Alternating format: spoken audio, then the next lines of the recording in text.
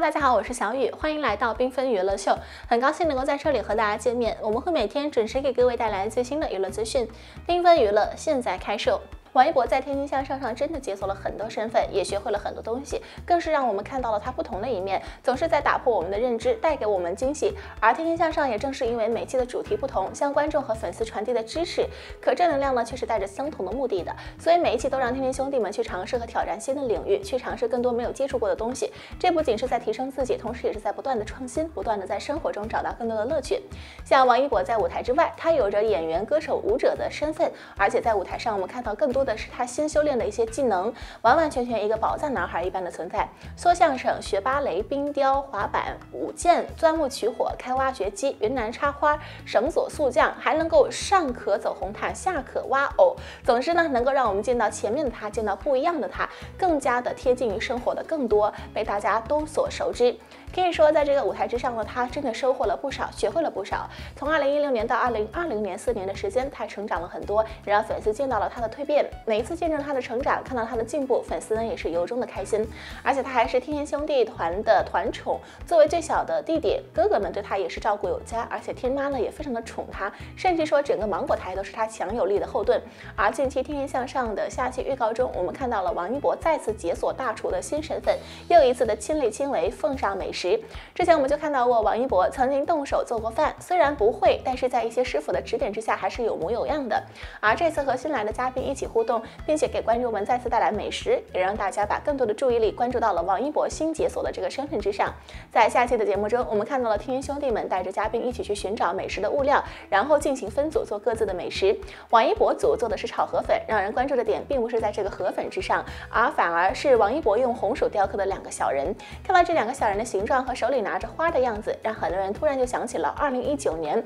那个《盛夏陈情令》当中魏无羡的那个小纸片人。当时呢，蓝忘机最开始对这个纸片人是厌恶至极，后来又关心至极。这一切的转变也让大家看到了戏里面的他的变化。如今再次在戏外能够看到相似的场景、熟悉的场面，却让很多人一下子把回忆涌入了脑海之中，甚至很多《陈情令》的女孩沸腾了。这两个小人真的很可爱，而且呢，还或许带着不一样的寓意。不管怎么样呢，大家能够再次看到这些熟悉的东西，还是感觉非常开心的，也让更多人开始纷纷期待下期的《天天向上》，顿时觉得一定会很精彩。除此之外呢，让大家开心的不止这一件事儿，而且呢，王一博在今晚发的抖音新动态的歪头杀，更是圈了无数的粉，再次让很多妈妈粉转为了女友粉。而且手势的小细节暗示着什么呢？也忍不住让粉丝们又进行了一番新的猜测，脑洞大开，福尔摩斯摩托姐姐们纷纷上线。或许猜测有匪是不是要定档了？或许是他的新歌是不是要上线了？总之，不管是什么，都要预示着一些好消息就对了。虽然更多人的注意力放在他的首饰之上，把这些小心思解释读得完完全全，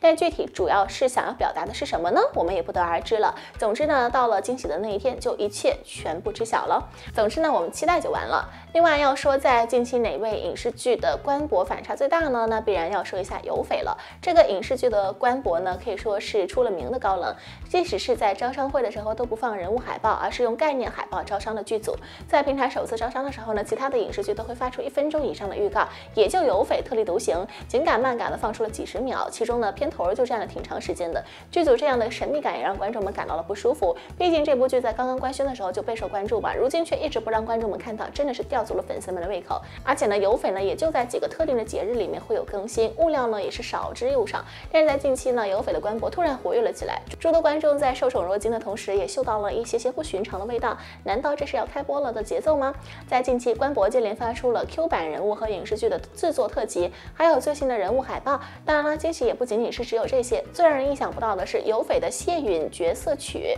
喜薇居然会先行上线，因为王一博饰演谢允，所以呢这首歌也是由王一博演唱的。喜薇，而且这个角色曲前不久在平台中呢也展开了预约，而这首歌呢也将在十二月八号中午正式上线。所以在这正式上线之前呢，平台也更新了最新的消息统计预约人数，称目前预约人数已经超过了两百万。也就是因为这样，王一博创造了平台的两个记录，一个是数字专辑预约人数首个破两百万，另外一个呢则是最快突破两百万大关的内地歌手。不得不说王。王一博的人气实在是太高了，而也可以发现哦，观众们对于有匪这部影视剧还是非常期待的。回头再看看有匪官博在近期频繁的营业，相信这部剧啊离上线也不远了，所以观众们就静静的等待官宣播出吧。另外，王一博在近期除了喜为这个角色歌曲之外呢，他自己的单曲也即将来袭，在跨年的时候呢也会献上精彩的舞台，粉丝们就等着尖叫吧。吃瓜不停，娱乐不断，感谢大家关注缤纷娱乐秀。如果您喜欢我们频道的话，请给出您宝贵的赞，并且记得订阅我们，同时不要忘了点亮订阅右边的小铃铛，这样就可以在第一时间收到我们的频道内容啦。我们下期节目再见吧，拜拜。